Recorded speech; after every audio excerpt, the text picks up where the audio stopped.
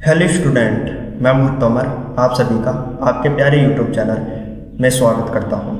दोस्तों, आज की इस वीडियो का जो हमारा टॉपिक है, वह है रीति काल की प्रमुख विशेषताएँ। तो दोस्तों, आज की इस वीडियो में मैं आपको क्लास टेंथ एन के हिंदी के बोर्ड एग्ज़ाम में रीति काल की प्रमुख विशेषताएँ किस प्रकार से लिखेंगे, आज की इस वीडियो में मैं आपको ये सारी सारी बातें बताने वाला हूँ, समझाने वाला हूँ और लिखवाने वाला हूँ। तो दोस्तों, वीडियो शुरू करने से पहले आप सभी से रिक्वेस्ट है यदि आपने अभी तक हमारे प्यारे यूट्यूब चैनल को सब्सक्राइब नहीं किया है तो दोस्तों सब्सक्राइब कर दीजिए तथा उसके आगे की बेल आइकन घंटी भी प्रेस कर दीजिए, ताकि दोस्तों जब भी मैं नई वीडियो अपलोड करूँ, उस वीडियो की नोटिफिकेशन आपको सबसे पहले मिल सके।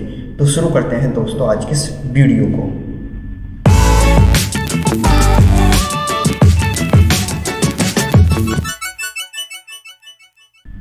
तो दोस्तों, आपके क्लास टेंथ एन के हिंदी के बोर्ड एग्ज़ाम में प्रश्न लिखा हुआ आएगा।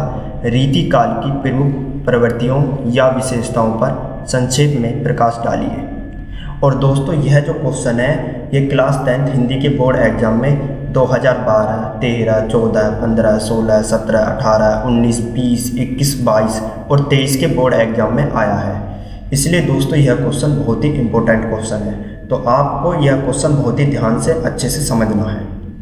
ठीक है दोस्तों? तो आपके क्लास टेंथ हिंदी के बोर्ड एग्ज़ाम में क्वेश्चन लिखा हुआ आएगा। रीति काल की प्रमुख प्रवृत्तियों या विशेषताओं पर संक्षेप में प्रकाश डालिए। अब दोस्तों, आप इसका उत्तर किस प्रकार से लिखेंगे देखिए। आपको पहले लिखना है उत्तर और उत्तर में आपको लिखना है, रीति काल की प्रमुख प्रवृत्तियाँ या विशेषताएँ निम्नलिखित हैं।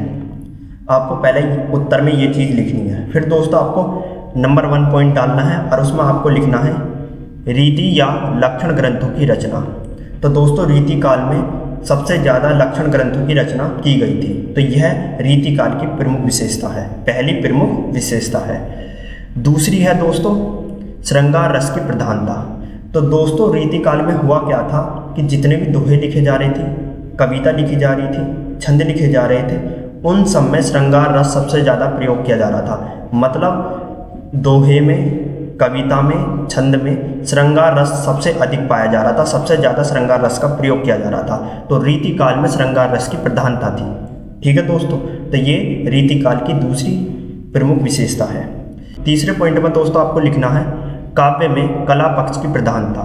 तो दोस्तों रीति काल में हुआ क्या था कि काव्य में जो भी दोहे लिखे जा रहे थे, छंदे लिखे जा रही थी, कविता लिखी जा रही थी, उन सब में कला पक्ष सबसे ज़्यादा पाया जा रहा था। कला पक्ष के सबसे ज़्यादा प्रयोग किया जा रहा था। अब दोस्तों, आप कहेंगे कला पक्ष होता क्या है? तो दोस्तों, कला पक्ष हम उसे कहते हैं जिसमें अलंकार का प्रयोग किया जाता हो, रस का प्रयोग किया जाता हो, छंद का प्रयोग किया जाता हो। मतलब जहाँ छंद, रस अलंकार का प्रयोग किया जाता है, उस पक्ष को हम क्या कहते हैं? कला पक्ष कहते हैं। कला पक्ष के अंदर रस, छंद अलंकार ये और भाषा, ये सब चीज़ें आती हैं। तो काव्य में क्या हो रहा था? रीतिकाल के काव्य में कला पक्ष का सबसे ज़्यादा प्रयोग किया जा रहा था। तो रीतिकाल में क्या हुआ था कि काव्य में कला पक्ष की प्रधानता थी। ठीक है दोस्तों, अब दोस्तों आपको ये पता चल गया होगा कि कला पक्ष होता क्या है। दोस्तों, चौथी प्रमुख विशेषता ही मुक्त काव्य की प्रमुखता। तो दोस्तों, रीतिकाल में मुक्त काव्य की प्रमुखता थी। ये रीतिकाल की चौथी प्रमुख विशेषता है। पांचवी है दोस्तों ब्रज भाषा का चरमोत्कर्ष। तो दोस्तों, रीतिकाल में हुआ क्या था कि रीतिकाल में जितने भी काव्य में भाषा लिखी जा रही थी, उन भाषाओं में ब्रज भाषा का सबसे ज़्यादा प्रयोग किया जा रहा था। दोस्तों, कहने का मतलब ये है कि काव्य में जो दोहे, छंद, अलंकार लिखे जा रहे थे, उन दोहे, छंद, अलंकार को लिखने के लिए ब्रज भाषा का सबसे ज़्यादा प्रयोग किया जा रहा था। उन सब में ब्रज भाषा सबसे ज़्यादा पाई जा रही थी। दोस्तों, छठी प्रमुख विशेषता है प्रकृति का उद्दीपन रूप में चित्रण।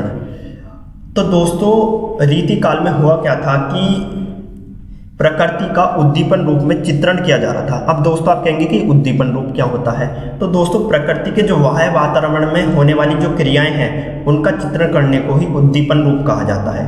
तो उस समय के जितने भी कवि थे, उन्होंने प्रकृति के बाह्य वातावरण में होने वाली जितनी भी क्रियाएँ हैं, उनका चित्रण किया। तो ये रीतिकाल की छठी प्रमुख विशेषता है, प्रकृति का उद्दीपन रूप में चित्रण। दोस्तों, सातवीं प्रमुख विशेषता है दोहा, सवैया, कविता, छंदों की प्रचुरता। तो दोस्तों, देखिए, रीतिकाल में हुआ क्या था कि रीतिकाल में दोहे सबसे ज़्यादा लिखे गए थे, कविता सबसे ज़्यादा लिखी गई थी, छंदों का सबसे ज़्यादा प्रयोग किया गया था।